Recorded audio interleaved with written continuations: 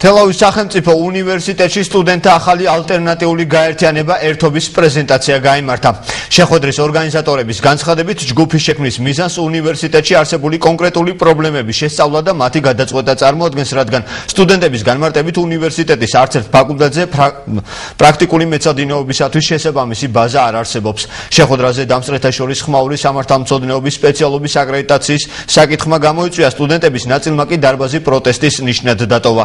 მოგვიანებით ერთობის პრეზენტაციას თელავის მაჟორიტარი დეპუტატი გელა სამხარაული შეუერთდა. დეპუტატმა უნივერსიტეტში სტუდენტთა სხვადასხვა გაერთიანებების შექმნა დადებითად შეაფასა. სამხარაულის თქმით, უმაღლეს სასწავლებელში არსებული პრობლემები მომავალში განათლების სამინისტროსთან თანამშრომლობით მოგვარდება.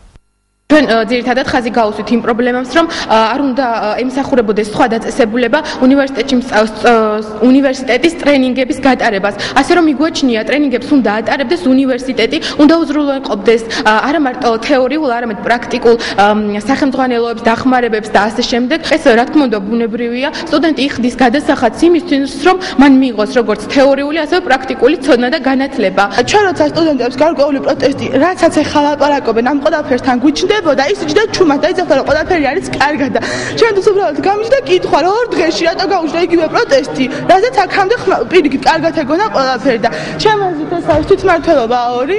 მე დავტოვე პროტესტის ნიშნად ეს პრეზენტაცია იმიტომ რომ ფიქრობ რომ არაფრის მომცემი არ არის სტუდენტებისთვის.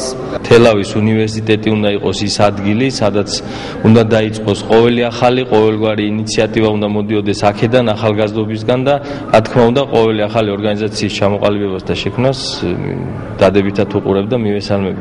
მაგრამ აქ სხვა პრობლემებია კიდე უნივერსიტეტში. თუნდაც ასეთი ორგანიზაციის შექმნა მე ვფიქრობ რომ სხვა თემებს უკავშირდება. მე ვთვლი რომ უნივერსიტეტი თელავის უნივერსიტეტი მისახედია. მე ამ საკითხს აუცილებლად დავსვა განათლების მინისტრის წინაშე.